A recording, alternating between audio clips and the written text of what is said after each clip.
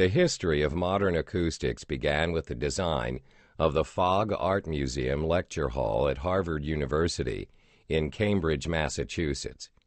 When the building was erected in 1895, the acoustics of the main lecture hall space were a disaster, and the space could not be used for lectures.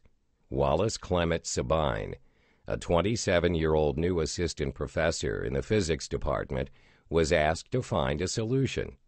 He started by considering the age old problem of why the acoustics of some rooms were good, while others were mediocre or impossible. Sabine isolated himself from his colleagues in the physics department and worked with two lab assistants late in the evening and early in the morning to avoid the impact of street noise and the vibrations from the newly constructed Harvard Square subway line. He had promised the university authorities to return everything to normal each morning by class time, so he and his assistants dragged hundreds of upholstered seat cushions from the nearby Sanders Theater to the lecture hall after midnight each night and back again at dawn. Sabine studied and measured the sound quality of similar spaces. He used his ears and a stopwatch to measure the length of reverberations from organ pipes. Through his efforts, Sabine was able to develop reverberation equations and absorption coefficients for many common building materials. He discovered that the reverberation time of a room is directly proportional to the cubic volume of the room and inversely proportional to the sound absorption provided at the room's boundary surfaces and by the room's furnishings. His equation uses the simple dimensions of the room and absorption coefficients of materials to determine the acoustic effect of the space, offering a simple method for architects to determine favorable room proportions and treatments. Thanks to Sabine's recommendations, the Fogg Lecture Hall was reopened in 1898. Sabine then went on to work as acoustic consultant for Boston Symphony Hall. His input resulted in one of the world's best concert halls.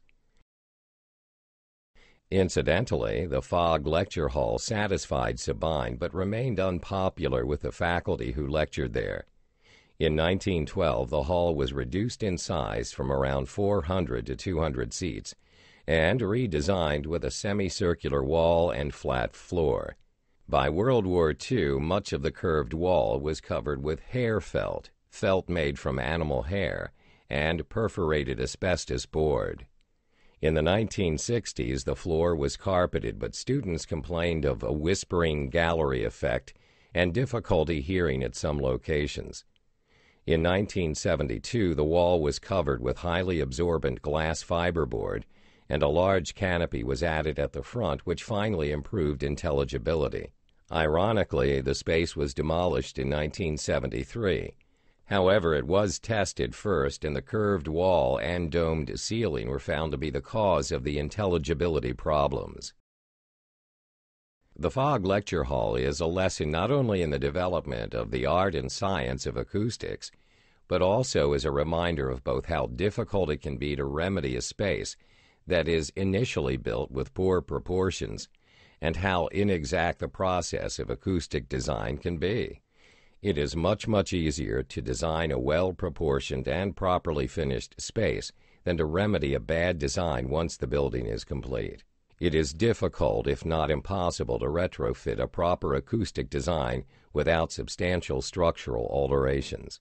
Solutions to acoustic problems depend on experience, judgment, and common sense, along with at least a conceptual understanding of the basic properties of sound how it is propagated throughout building spaces, and how various building materials and construction systems influence it.